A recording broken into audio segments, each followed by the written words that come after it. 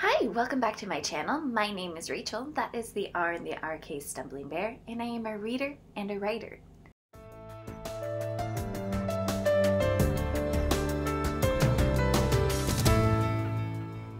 And this is the first weekly wrap up of the new year of 2023.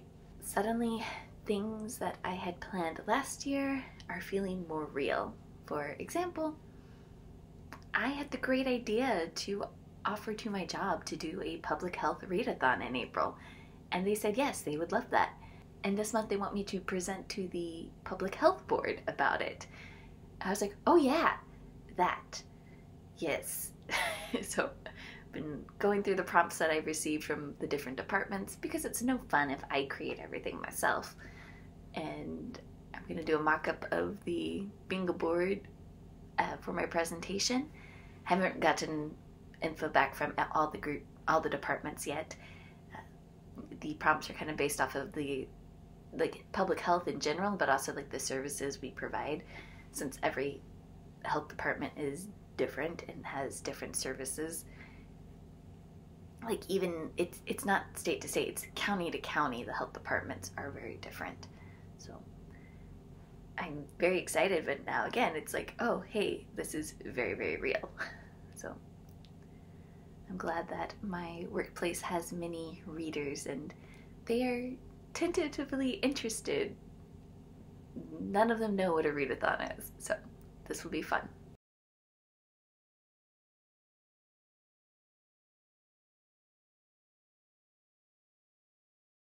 Jumping into my reading wrap up. I finished three things this week. And with the normal mood readerness, the first thing I finished was not anything on my radar. But it is something from my physical TBR, so I'm okay. The first thing I finished was Chew Volume 1 by John Layman and Rob Guillory. I think Rob Guillory is the artist. This was exactly as advertised. Uh, this is a graphic novel about a cop who when he eats something, he knows where it came from, he knows the manner of which the foods were prepared, and it makes eating not a lot of fun for him. But his talent goes even farther to if he eats a bit of flesh from a corpse, he knows how they died. He knows thoughts and things that the corpse knew. This is not for the weak stomachs because it grows gross, but in a hilariously campy way at the same time. And I had a lot of fun with it. I passed it off to my husband, not knowing what he would think, and he also had a lot of fun with it. I then read Fence, volume number one. This was on my 2000 to 2023 reading challenge. And this is about a young man who is trying to get onto a school fencing team. He has the raw talent, but not the training and discipline. And he's competing against other young men. He's also the scholarship student, so he has to get on the team or he loses his scholarship and his place at the school. Interestingly enough, the main character is not the one that is featured on this cover. I thought that was a very interesting choice to do. And then for the self published science fiction contest, I finished Echoes of Another Earth by J. Daniel Layfield. And I enjoyed this. This is my type of science fiction. It did throw me because it, it starts off on a more serious note. And what it was promising at the beginning, it does deliver at the end, but it takes a very like roundabout way to get there. Um, once we meet the side character Dave, it, kind of goes the book. Hmm, the book goes more like in a humorous sci-fi route, which very much surprised me, and I had to take a step back before jumping back in to enjoy reading it. And I'm going to have a individual review coming up about this since this is one of the quarterfinalists for my team. So those are the things that I finished for what I am currently reading. I picked up The Souls of China, The Return of Religion After Mao by Ian Johnson, which is my nonfiction for the quarter. Though the way that this is written, if I continue reading like a chapter or two a day, I think I could be done actually this month. But I am slow reading this. This is written by a white Westerner, which had me kind of leery, even though that it in his bio in the back it says he lives in Beijing. But as I've been reading the first couple of stories, it greatly has reminded me of the stories I read in The Way Spring Arrives. So I believe this guy has done his research. I would suggest reading that short story collection before picking up something like this, just so then you get the flavor of the stories. And then when, as you're, like I said, as you're reading this, then things make more sense. Oh, that's why that was d- done in that way. So, yeah, I'm enjoying this. Like I said, it's written in more of a memoir style. So, like each chapter, he is talking about his interactions with someone who lives in Japan or someone who practices one of the religions. And then I picked up again Sisters of the Forsaken Stars. This was a novella that I had started last year. Um, it's on my currently reading Goodreads list so that I would remember to pick it up and finish it. I really, I, I read the first one last year, really enjoyed it. And then when I picked this up, there's a tonal shift, which makes sense. It's been time since the author had written the first one, and it's also been time since the events of the first book, but it kind of threw me. So I needed to step back and then come back to it. And so I'm planning on continuing this. And then I have started Trellis by Jules Cantor. It's another of the self published science fiction contest books. And in this one, so far, we have a dual perspective. We have Melody, who is a cop, and then we have Debbie, who is a mediator. Melody is investigating a murder that has happened inside of this building called the Trellis in, in Chicago. And Debbie has just been hired to work in the Trellis. So, very much it's going to be, I think, the, politics and the things that are going on in the Trellis. Those three books that I'm currently reading, I'm going to continue this week.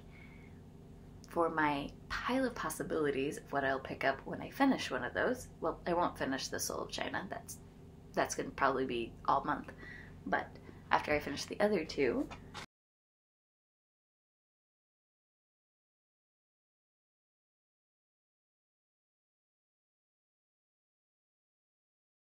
after I finish the trellis, I am planning on picking up Melody by David Hoffer. This um, is like a psychological thriller sci-fi from what I understand. I only read like the first chapter because my everybody else in my group had voted yes for this book, so I already knew that it was going to be on our list. Okay, then when I finish Sisters of the Forsaken Stars, I think I'm gonna next pick up Nebula Vibrations, which is another novella. It's very short, so that's kind of what I'm looking at next. Then for my 40 books before I turned 40, I have The Great Gatsby, also pretty short. And then some other books that I'm looking at, but not entirely sure if I'll pick up this week or not, would be Full Moon by Jim Butcher and Children of Time by Adrian Tchaikovsky. This one is on a bingo board buddy read challenge, so I'm, I am more interested to pick this up. And then from that same buddy read group, they're buddy reading the second book in this series, and I'm like, haven't read the first one yet, so I'm interested in picking up the first one. However, both of these also work for the Keymark readathon that I have signed up to do, and there's the goal is to read five books in a month to get points, and so I'm thinking of making that reading challenge like my Sunday read since I have a little bit more time just to kind of hang out and then I can just focus on one book. So I might read one of those on Sundays and then I'll continue my other three during the week. I love it. Lots and lots of possibilities.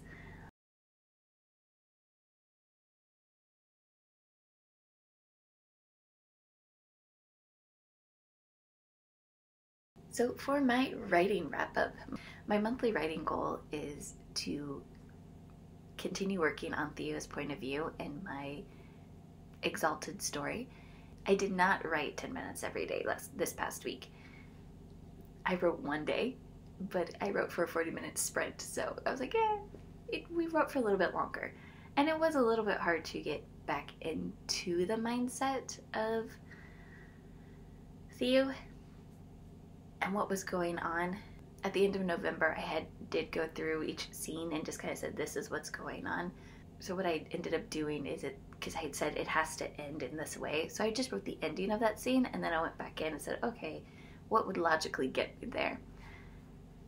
And finally, words started flowing to the point that I wrote way more words than I thought I would have otherwise. Definitely I'm enjoying finding some like night sprints now that my part-time job I can't work in nights. So going to continue working on that. Still need to figure out a short story thing that I like to write, but we'll, we will see.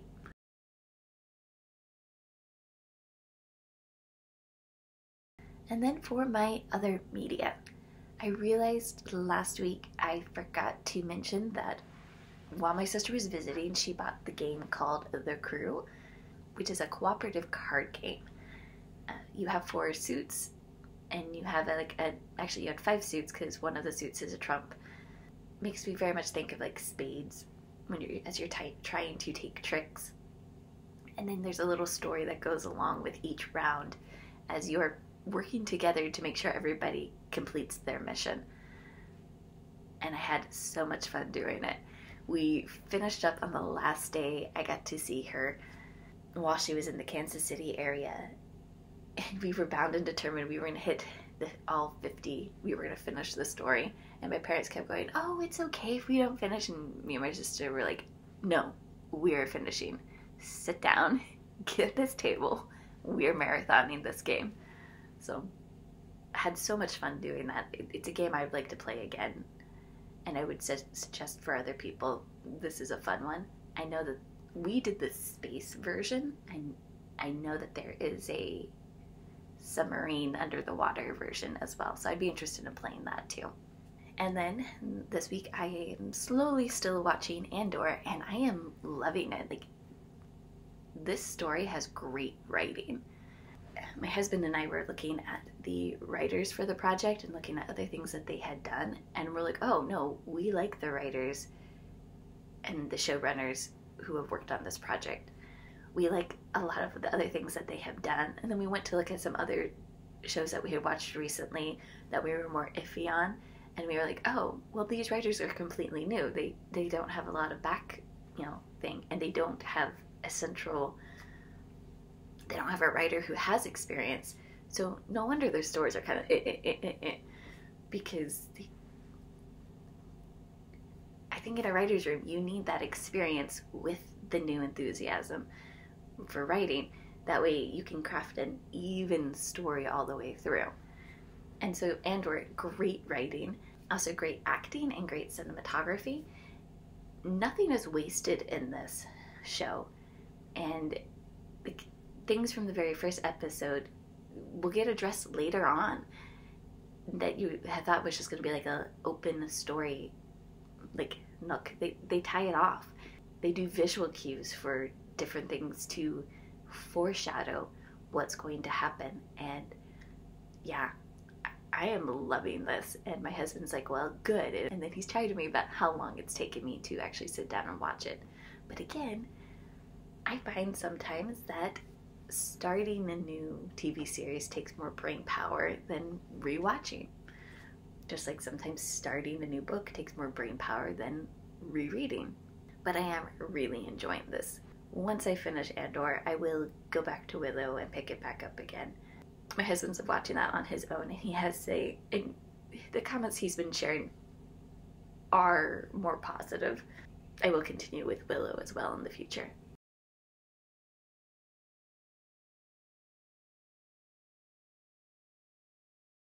So, kind of what you can expect from me in the future. I have my favorite novels and novellas video coming out this next week, and then the week after will be my novelettes and short stories, because I read a lot of those this year. Um, I also will have a dedicated review for Echoes of Another Earth coming up, as well as some other review videos from the books I read in tw- from my new release series from 2022, things that I haven't reviewed yet that I still want to.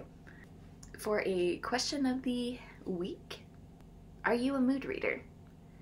Or are you someone who plans your reads? I'd love to know. Thank you and have a great day.